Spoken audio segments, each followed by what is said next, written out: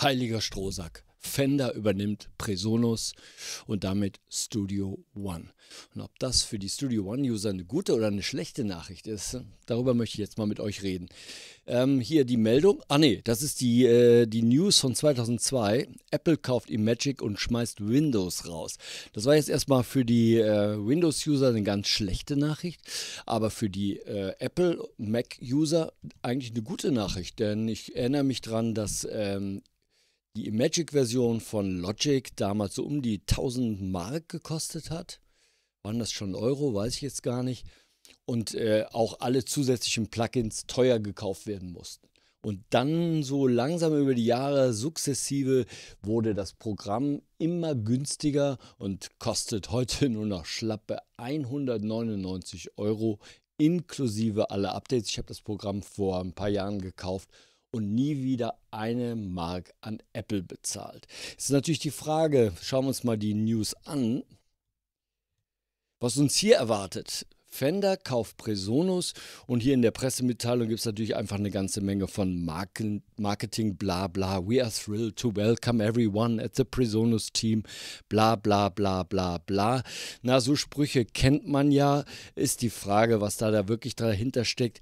Äh, angekündigt wird auf jeden Fall, dass das ähm, Fender Ecosystem oder Ökosystem äh, durch die Übernahme aufgewertet werden soll. Ich kann mir vorstellen, dass da vielleicht jetzt äh, nur noch Fender-Amps in Presonus als virtuelle Amp-Models zu finden sind und so weiter. Oder dass vielleicht eine virtuelle Gitarre mit eingebauten DSP von Fender veröffentlicht wird. Oder ganz einfach, dass äh, bei jeder Fender äh, dann irgendwie eine Version von Studio One beiliegt. All das kann man sich sicherlich gut vorstellen. Ähm, zum Beispiel äh, kennen viele von euch ja eine Übernahmegeschichte. Äh, Steinberg wurde ja gekauft, zuerst von Pinnacle Systems, das war nicht so prickelnd, dann aber von Yamaha. Und ich muss sagen, als jemand, der das ein bisschen auch von innen beobachten konnte, hat sich das für die Produktqualität von Cubase am Ende des Tages eher positiv ausgewirkt. Also ich muss sagen, dass die, die Updates, die äh, Steinbeck so in den letzten Jahren rausgehauen hat, doch alle deutlich stabiler liefen, gute neue Features hatten. Einzige äh, Wermutstropfen ist, es liegt leider noch nicht äh, kostenlos überall bei. Das wäre eine Geschichte, die fände ich jetzt mal äh, für Steinberg eine gute Inspiration, zu sagen, wir stellen einfach jedem Yamaha-Kunden, egal ob der ein Motorrad kauft, einen Außenbordmotor für, sein, für, sein, ähm, für seine Motorjacht, der kriegt von uns jetzt einfach mal was geschenkt und zwar schenken wir dem einen Steinberg Cubase. Wir kennen ja auch äh, die Probleme, die zum Beispiel Gibson hatte. Äh, die haben ja auch so unheimlich viel aufgekauft. Die haben mal Oberheim aufgekauft, ganz viele Firmen aus dem Musikbereich aufgekauft und haben sich dabei übernommen.